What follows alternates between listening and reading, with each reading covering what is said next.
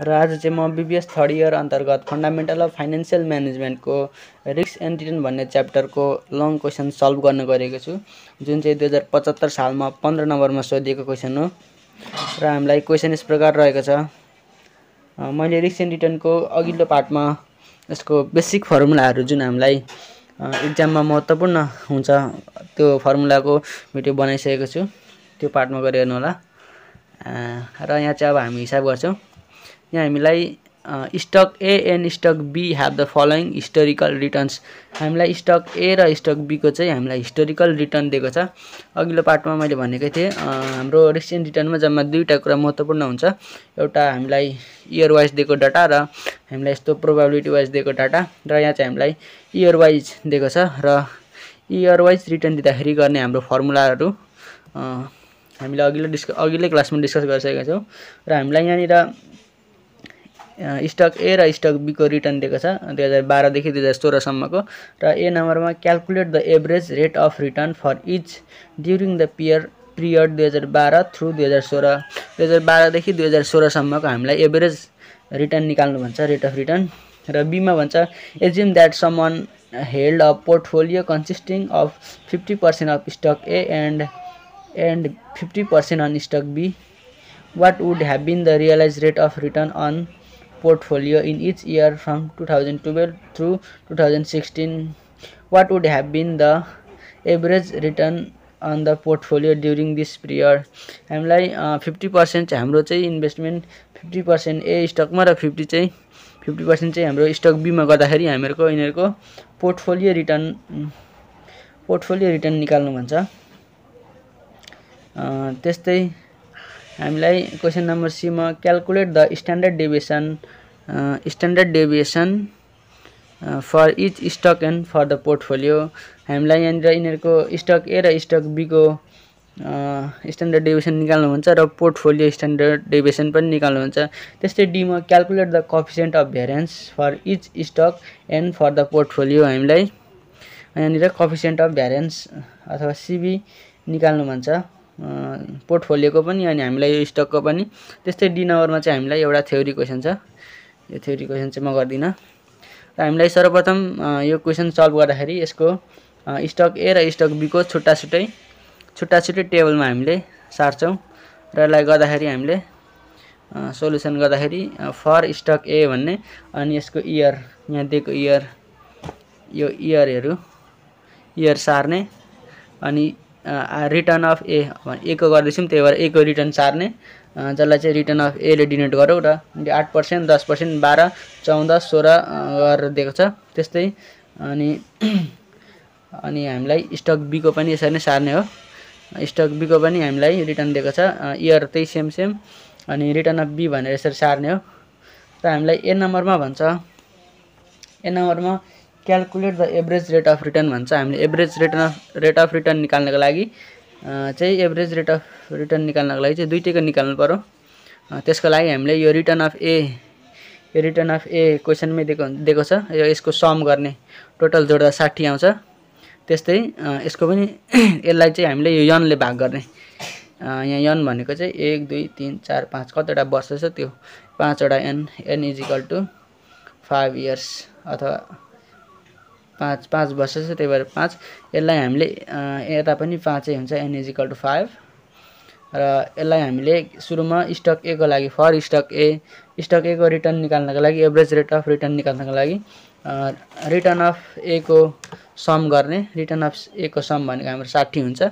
अनि यसलाई हामीले यनले भाग गर्ने यन भनेको फाइभ छ भाग गर्दा बाह्र आउँछ। त्यस्तै बीको लागि पनि रिटर्न अफ बी गर् निकाल्नको लागि यसलाई चाहिँ हामीले आर बार ए रिटर्नलाई हामीले आर बार ए अथवा एक्सपेक्टेड रिटर्न अफ एले पनि डिनोट गर्न सक्छौँ। हिस्टोरिकल डेटा दिँदाखेरि चाहिँ हामीले आर बार लेख्ने गर्छौँ प्रायः। हामीले प्रोभाबिलिटी डेटा दिँदाखेरि चाहिँ हामीले यो return of A expected return of A गर्थ्यौँ। यो हाम्रो हिस्टोरिकल दिँदाखेरि चाहिँ हामीले यस्तो आर बार ए लेख्नुपर्ने हुन्छ। यो लेख्दा पनि गल्ती चाहिँ हुँदैन। त्यस्तै यहाँ पनि सेम रिटर्न अफ बी निकाल्नको लागि बीको रिटर्नको सम डिभाइडेड बाई यन गर्दाखेरि बाह्र आउँछ। दुइटैको बाह्र बाह्र पर्सेन्ट आउँछ। त्यस्तै हामीलाई यो हाम्रो ए नम्बरको क्वेसन सल्भ भयो अब हामीलाई बी नम्बरमा के माग्छ भन्दाखेरि assume that the someone held a portfolio consisting fifty percent हाम्रो लगानी चाहिँ स्टक ए र स्टक बीमा फिफ्टी फिफ्टी पर्सेन्ट गर्ने हो भने यिनीहरूको रिटर्न अफ पोर्टफोलियो कति हुन्छ भन्छ। पोर्टफोलियो भनेको चाहिँ हामी हामीसँग भएको लगानी एउटै स्टकमा न नगरिकन फरक फरक स्टकमा लगानी गरिन्छ भने त्यो चाहिँ हाम्रो पोर्टफोलियो हो। त्यस्तै हामीलाई यहाँनिर हामीलाई स्टक ए को वेट दिएको छ। वेट अफ स्टक ए भनेको fifty percent weight of B भनेको यसको पनि फिफ्टी पर्सेन्ट अनि यसलाई हामी चाहिँ डेसिमलमा लगाउँछौँ zero point five zero zero point five zero त्यस्तै हाम्रो return of portfolio form return of पोर्टफोलियोको formula भनेको weight of A into return of A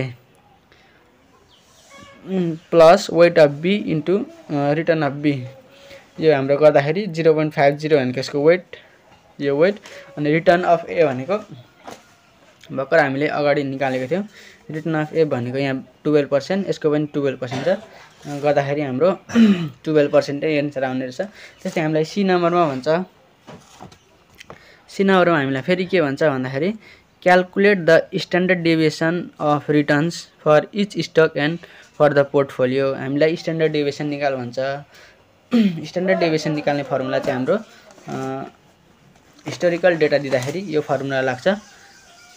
यो sum sum ब्राकेटमा return of A minus return of A अथवा R bar A को whole square divided by n minus one हामीलाई यति चाहिन्छ र हाम्रो यन छँदैछ क्वेसनमा यन भनेको फाइभ अनि वान भनेको त त्यहीँ फर्मुलाकै वान रिटर्न अफ ए भनेको यहाँ क्वेसनमै दिएको छ रिटर्न अफ ए भनेको। क्वेसनमै दिएको यो रिटर्न अफ ए अनि आर आर बार ए भनेको अथवा return expected return of A भनेको यहाँ निकालेको बाह्र पर्सेन्ट अनि त्यस्तै बीको पनि सेम अनि हामीलाई यो फर्मुला चाहियो। R A minus R bar A को होल स्क्वायर चाहियो। भनेपछि यसलाई हामी फर्मुलामा यसरी निकाल्न सक्छौँ। R A minus R bar A. सुरुमा यो निकालिराखौँ।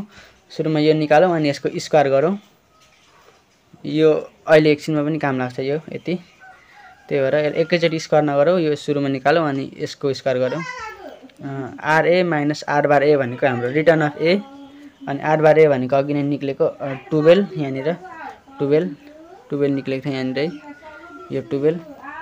अनि त्यस्तै आरए भनेको आठ पर्सेन्ट अनि माइनस बाह्र गर्दाखेरि जम्मा माइनस फोर हुन्छ। अनि माइनस फोरको स्क्वायर भनेको सिक्सटिन। अनि त्यस्तै अर्को टेन माइनस टुवेल्भ गर्दाखेरि माइनस टू माइनस टूको स्क्वायर फोर त्यस्तै टुवेल्भ माइनस टुवेल्भ गर्दाखेरि जिरो जिरोको जिरो हो। अनि फोर्टिन माइनस टुवेल्भ गर्दाखेरि टू टूको स्क्वायर फोर त्यस्तै सिक्सटिन माइनस टुवेल्भ गर्दाखेरि फोर फोरको स्क्वायर सिक्सटिन। अनि यसलाई टोटल हाम्रो जोड्दाखेरि जोड्दाखेरि हाम्रो कति आउने रहेछ? टोटल हाम्रो यसको सम भनेको लगभग चालिस आउने रहेछ। यसको सम पनि लेखौँ यहाँ। Sum of return of A minus R bar A अथवा एक्सपेक्टेड रिटर्न को स्क्वायर इज इक्वल टु हाम्रो चालिस आउँछ। यो चालिस यो हाम्रो हामीलाई यति नै चाहिएको। यो आयो र हामीले यसलाई फर्मुलामा राख्यौँ र यसो गर्दाखेरि हाम्रो three point one six two three percentage आउने रहेछ। र रिटर्न स्टक बीको लागि पनि स्टक स्टक बीको स्ट्यान्डर्ड डेभिएसनको लागि पनि सेम फर्मुला यहाँकै सेम फर्मुला दुइटैको। यहाँनिर चाहिँ रिटर्न अफ ए राख्यौँ। बीको निकाल्दैछु त्यही भएर यहाँनिर चाहिँ return of B minus R bar B को square N minus one N minus one same यसको पनि र हाम्रो रिटर्न अफ बी दिएकै छ क्वेसनमा। अनि हाम्रो return of B minus R bar B R bar निकालेकै छ यहाँ बाह्र पर्सेन्ट यसको पनि सेम बाह्रै छ। सोह्र माइनस बाह्र गर्दाखेरि चार चारको स्क्वायर सोह्र अनि फेरि चौध माइनस बाह्र गर्दाखेरि दुई दुईको स्क्वायर चार बाह्र माइनस बाह्र गर्दाखेरि जिरो जिरो जिरो भइहाल्यो।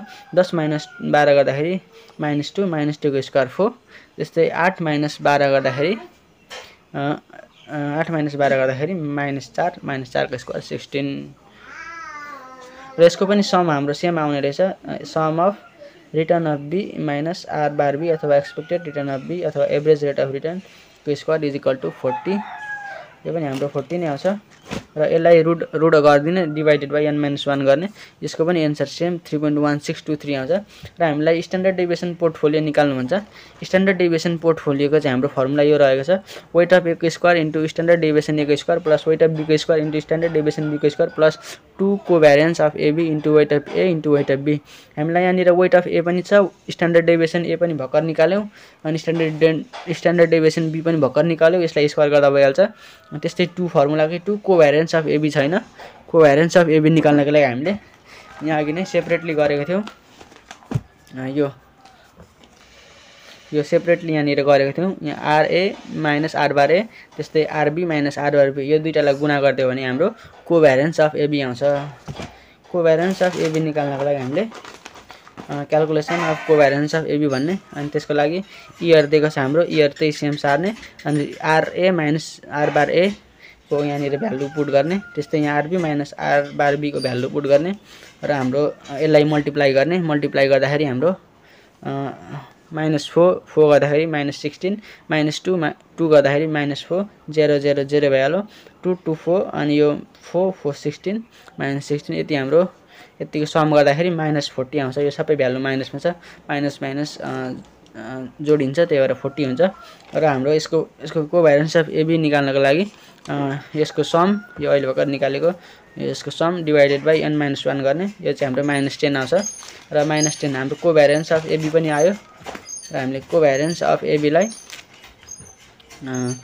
यसरी हामीले राख्यौँ। Zero point weight of A भनेको zero point five zero square into three point one six two three standard deviation अघि निकालेको। त्यसको पनि स्क्वायर प्लस फेरि वेट अफ बीको पनि स्क्वायर इन्टु त्यही स्ट्यान्डर्ड डेभिएसनको स्क्वायर प्लस टू अनि माइनस टेन को भ्यारेन्स अफ एबी हो यो।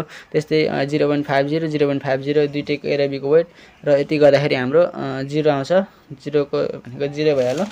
त्यस्तै अब हामीलाई डी नम्बरमा के निकाल भन्छ हामीलाई डी नम्बरमा निकाल्नु भन्छ calculate the coefficient of variance for each stock and portfolio यहाँ हामीलाई क्वेसन नम्बर डीमा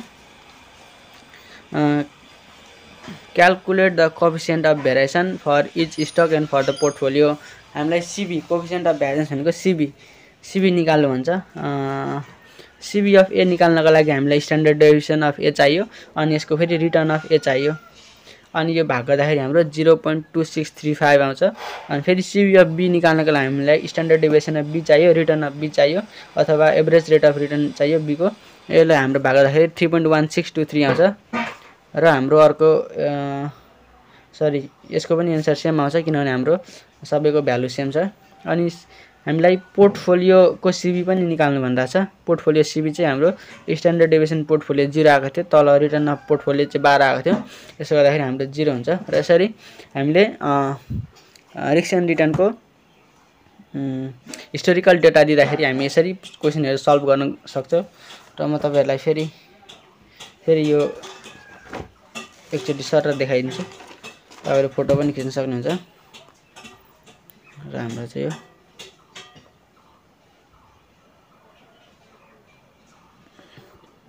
यसरी ए नम्बरमा यसको रिटर्न निकाल्ने। अनि हामीलाई बी नम्बरमा एक्सपेक्टेड रिटर्न अफ पोर्टफोलियो निकाल्ने। त्यस्तै सीमा हामीलाई यिनीहरूको स्ट्यान्डर्ड डेभिएसन निकाल्ने। स्ट्यान्डर्ड डेभिएसन निकाल्ने। र हामीलाई स्ट्यान्डर्ड डेभिएसन निकाल्नको लागि हामीलाई कोभ्यारेन्स चाहिन्छ यिनीहरूको। त्यो कोभ्यारेन्स पनि यसरी क्यालकुलेट गर्ने। क्यालकुलेट गर्ने र हामीलाई डी नम्बरमा यसको सिबी निकाल्नु भन्छ। सिबी पनि यसरी निकाल्न सकिन्छ। र नेक्स्ट पार्टमा चाहिँ म यसको छिहत्तर सालमा सोधिएको क्वेसन सल्भ